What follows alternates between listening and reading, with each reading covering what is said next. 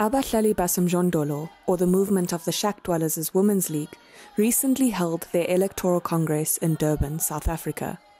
Formed in 2007, the ABM Women's League has managed to sustain a vibrant arm of the organization. We spoke to Abahlali Women's League chairperson, Kunjuzwa Nomtebe, prior to the election to find out more. Hey, si excited kakhulu ngoba sikhumbula amanini asishiya emzamalazweni from 1956 bemashela e-Elbridge Union ePretoria. So sikhumbula lo maqhawe. As ke thina singabahlali basemjondolo sikhumbula amaqhawe wethu unokuthula amabaso owabulawa ngesihluku siphinde sikhumbule uthula indlovu siphinde sikhumbule ingane encane unqobule nzuze yabulawa eCattle Crest 2013 so siyabakhumbula ngoba ngabana sinabo emzabalazweni. So lolu suku lolu ukuthi lukhulu kakhulu ngoba sizimisela ukuthi nalabazongena bathathe la shiye khona ukuthi abantu besifazane silwela amalungelo abantu besifazane ukuthi baphathe ngokulinganayo bahlonishwe. Siphinde futhi silwe nokuthi i-economic abantu besifazane nabo bakwazi ukuqhamula. Um sifisa ukuthi njengoba kuzokhethwa namhlanje i-leadership ezokhethwa. Sifisa ukuthi uqhubeke nokulwela abantu besifazane iqhubeke nokuseka umbutho iqhubeke nokuseka umbutho nentsha yethu nanokuthi nendlela abantu besifazane aba-abhuzwa ngayo ababulawa ngayo baqhubeke babambane balwe nobubha obukhona eSouth Africa nokungasebenzi abantu besifazane The day started with songs performed by the Abahlali Basemjondolo choir.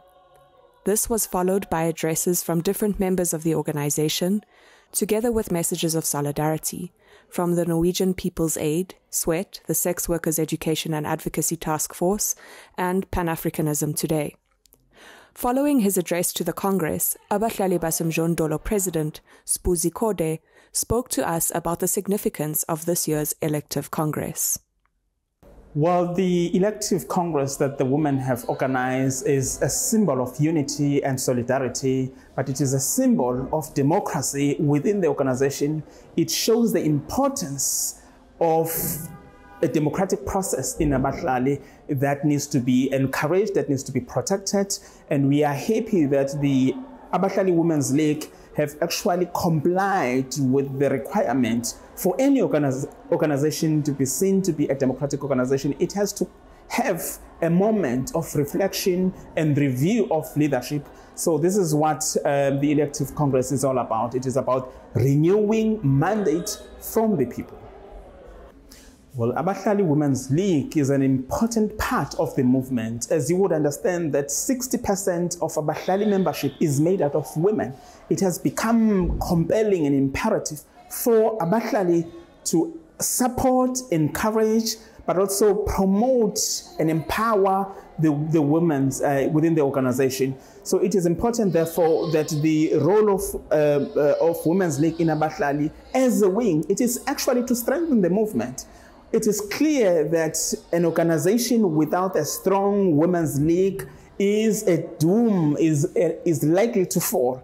So we are pleased as Abahlali that what made Abahlali to be strong and to be this sustainable, it's because of such wing. Without the strong women within the organization like Abahlali, we would not have a movement. So what has made Abahlali to be strong and to have been going through these long years of unbroken promises to its members is because of women within the organization. So we are happy that today the Women's League has shown the way that it is important that Abahlali exists with it playing a major role within the organization.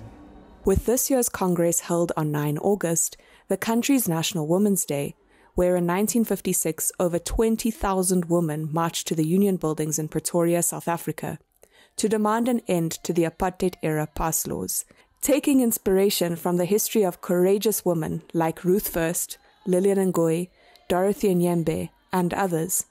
Abahlali Basemjondolo's Women's League Electoral Congress sought to elect leaders that can push forward the four pillars of the organization's Women Can Do It campaign. We spoke to ABM coordinator Zandile Nsibande to find out more. What we are doing is that we are pushing the campaign of Women Can Do It. Uh, on this A Women Can Do It campaign, we have four pillars women in land, women in leadership, women in livelihoods, gender-based violence and femicide.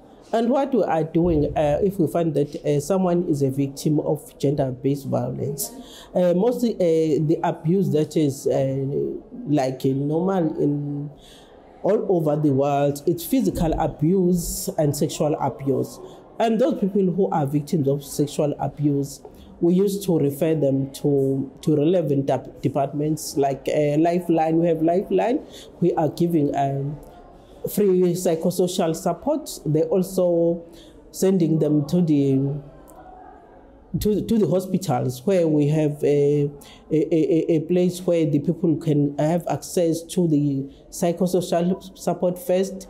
Then uh, after that, um, they will see the doctor.